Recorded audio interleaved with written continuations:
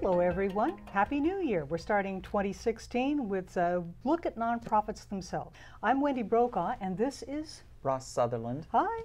You also work for a nonprofit. I do.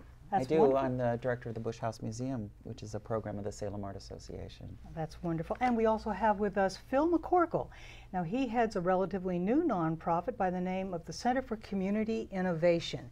And you hmm. have a long history, Phil, with nonprofits. You were with Marion Polk Food Share for what? Wearing different hats for something like what, 19 years? 19 years, and before that, I was with Northwest Human Services for five years. And somewhere in the middle there, I left Marion Polk Food Share and went to work for another nonprofit, Regis High School, for three years. So, I had 29 years working in nonprofits. Wow. So the Center for Community Innovation is a new idea for the Mid Valley because uh, there apparently was a need for a nonprofit to help other nonprofits. What's that all about? That's a great question. So, there were a lot of things that nonprofits were encountering that were challenging them to be able to stay stable and continue to help the community. Things like just the changing in society that kind of meant that they needed to change their, their mission, the things that they were doing in order to stay relevant. Relevance being important because if you're going to retain donors, you kind of have to keep your donors happy. And so that, that would be one example. And then just being able to run your nonprofit more like a, a business and, and understanding the, um, the way everything fits together with your cash flow and you know the, your expenses and balancing everything and not all nonprofits get the kind of training that they need in order to be prepared to do that. So what do you do? Well, we, we do a number of different things to directly address some of those needs. And first, and probably foremost, we provide training opportunities for nonprofit leaders, staff, and board members. Um, just for a detour on the board member issue, uh, I've been talking with a bunch of executive directors from local nonprofits, and something over 50 of them by now. And they've all identified the need to train board members as being one of the most uh, pressing needs that they have because they estimate that probably something less than 5% of board members at nonprofit organizations have had any training whatsoever about what it means to be a good, effective nonprofit board member. And when you think about the fact that there are over 2,000 nonprofits here in the Mid Valley, 2,000 that's a lot of board members yes. who, uh, who are leading these organizations, you know, setting their course, their vision for the future, and yet most of them haven't had training. So that's finishing that thought then, uh, training being a pretty important thing that we do. Uh, second thing that we do is we try to increase collaboration and networking among nonprofits. Uh, very early on in my uh, nonprofit career, I figured out there was one heck of a lot that I didn't know, and it wasn't hard. And uh, so it just occurred to me that if I would get to know other people who were doing the same kind of work that I mm-hmm. was, then anytime I got stuck, I always could pick up the phone and ask somebody for help.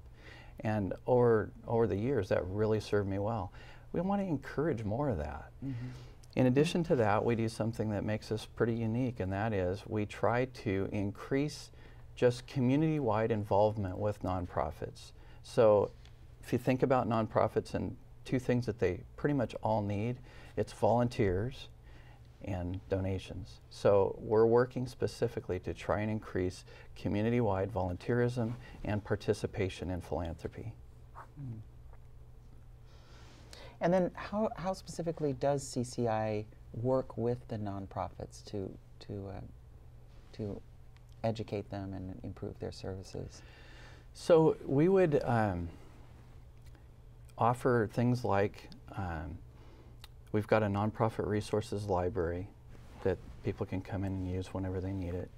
Uh, those you know, include traditional resources like DVDs and, and books, but they also uh, also include online resources because after all, it is 2015, almost 2016. So if it isn't online, it's not real, right? Yeah. Um, we well, it's true. Um, we also um, just try to provide some help as far as like if a nonprofit gets stuck, they can call us and we'll try to provide some consulting, some advice, some helps like that. Um, as far as the uh, fundraising uh, piece, we, we do things like uh, there, there's a, a column that I'm doing for the Statesman Journal that, that talks about various ways that people can be smarter donors and ways that nonprofits need support mm-hmm. and ways that the community can get to understand nonprofits better so that it, again, it, it reduces that gap, that barrier between the donors and the nonprofits. There- are a number of donors that aren't at this gigantically wealthy mm-hmm. level, and are you, how are you mm-hmm. trying to engage them? Well, I, one thing is just to let people know how important their support is, mm-hmm. and that somewhere in the nonprofit world there's a place for them to plug in. I mean, if I tell people sometimes that if I were to go to the first, or you or I would go to the first 10 people that we see when we leave this room mm-hmm. out on the street and ask them to think of 10 nonprofits that probably they're going to end up kind of on this end of the continuum and they're going to think about nonprofits that are doing things like fighting hunger and homelessness and that's important but what gets left off is the other end of the continuum the arts you know mm-hmm. music things that improve just the quality of life that make this a better place to live and then there's all these other nonprofits along that continuum that are out there every day working on their various areas and that make this a great place to live. And I think people are also on this kind of continuum, each of us is, and we have our interests. And some people are interested in fighting hunger and homelessness, and great, they can plug in with the nonprofits here. Mm-hmm. But then there are other people who care about music, they care about art, and they could plug in here. And everywhere in between, you know, educational institutions, hospitals, you know, all down the line. And somewhere there's going to be somewhere, some organization, nonprofit, that could use their help, either by volunteering, by giving funds, by giving in kind donations. And so, if we help people realize that, and that gifts and their time of any amount or any size, that helps nonprofits. And so they do have a place to plug in. Then I think we begin to increase the community's desire and, and uh, motivation to be involved. The, and the, the great thing about that too is, is, is you really see overlap where you'll see somebody that will volunteer at a museum, but they're also active with with hunger, or they're working with different like with uh, hum, with uh, Human the resource. Human resources. I was th- I was thinking um, the um, helping hand resources that you know they'll work there. So that that's the other thing that's really wonderful, and also in their in their philanthropy is that you'll see people who will be members of multiple nonprofits, Definitely. and so the people at the symphony are also the people that are donating. Um, either you know possibly through their church or um, through social services or something. So it's a really kind of that's a, the wonderful thing about Salem is is people sort of are connected in a lot of different ways. And CCI wants to enhance that connection. Definitely. Is that what makes you unique? I mean, there are a lot of organizations out there, face it, that are trying to help nonprofits succeed. So, what makes yours so unique? hmm So what makes there you are stand out from the crowd here? Yeah, that's a great question. There's there are examples of, of other organizations, for instance, that provide training for nonprofits, and unfortunately, a lot of them you have to drive to Portland to get that training, and that can be a real barrier for our local Mid Valley nonprofits. So one of the things that we try to do is to reduce that barrier, make it accessible and affordable for all of our area nonprofits, so that they can benefit from that knowledge and that training. Um, but what really makes us unique is that when you when you look for an organization, a nonprofit that seeks to help all other nonprofits, that's pretty hard to find. Um, I in the fundraising area, for instance, I tried to find one for quite some time. and Almost convinced myself that there wasn't another one in the U.S. Finally, found one in I think it was Austin, Texas, that has a similar kind of a mission to help all fundraising across all nonprofits, and uh, so they're, they're we're pretty uncommon, and that really does make us pretty unique. So, um, what is ahead for CCI and the vision for the future?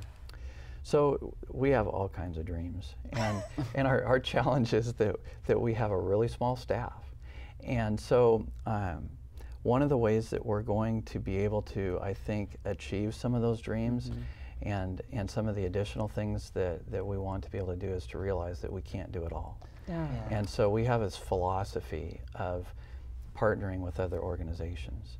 And so, if you think of any other nonprofit mm-hmm. that represents multiple nonprofits, then we're looking for ways to get involved with them. So, examples of that would be like the Salem Leadership Foundation, mm-hmm. Mm-hmm. United Way, uh, Mid Valley Volunteer Managers Association, a group called the Center for Nonprofit Stewardship, Willamette Valley Development Officers, Nonprofit Association of Oregon. We know we can't do it all. So, by working together, which by the way, we're encouraging other nonprofits to do the same thing. So, if we didn't do it ourselves, it would be rather ironic. So, uh, it really is part of what we want to do, and we realize we can do a whole lot more by doing that. How do we get in touch with you? Well, the easiest way is probably by our website, and it's pretty simple web address. It's ccioregon.org, and cciOregon.org. okay? right, and all of our contact information, of course, is there. You know, you really seem to have a passion for this. I just, you know, where does it come from in you? You're writing articles, you're getting people mm. involved. Why? You know, I've seen it work. I've seen nonprofits make a difference for this community where I mm. live and that I care about. And so I know the difference that people can make by getting involved with nonprofits, and it's just natural for me to want to share that and encourage other people to get involved. It's just the way it is. well, it's catching, isn't it? well, thank you so much. We're going to have to have you back one Oh, of I'd be times. glad to. Give That would us, be great. Give us an update on, on the projects that you've got going and uh, new ways we can get involved and Okay, feel that connection that you've talked about. that So- would be great. I would love to do it. Well, thank you for joining us today on Insight. I'm Wendy Brokaw. And I'm Ross Sutherland. We'll see you again.